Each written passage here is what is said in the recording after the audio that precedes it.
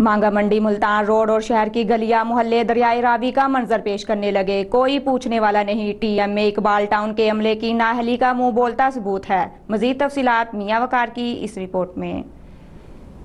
مانگا منڈی، ملتان روڈ اور گلیاں، محلے، دریائے راوی کا منظر پیش کرنے لگی کوئی پوچھنے والا نہیں۔ T M A Iqbal town کے عملہ کا منہ بولتا ثبوت۔ ہر بار T M A Iqbal town سے رابطہ کرنے پر ٹی ایم اے صاحب نے کال ریسیو کرنا بھی پسند نہ کیا۔ دو سو پینسٹھ کے جنرل کونسلر نے اپنا ہی محلہ تارک آباد، جو کوڑا کٹکٹ اور کچڑ سے بھرا ہوا ہے، نمازیوں کو بے حد پریشانی کا بھی سامنا کرنا پڑتا۔ کئی بچے بوڑھے اپنے جسم کے عذاب بھی ضائع کر چکے ہیں۔ کسی کے کان سے جوں تک نہیں رنگی، جبکہ دو سو پینسٹھ یو سی کے منتخب جنرل کونسلر کامران اور ٹیپو شیخ سے رابطہ کر کے جب سارا معاملہ بتایا تو ساری بات کالتے ہوئے کال بند کر دی۔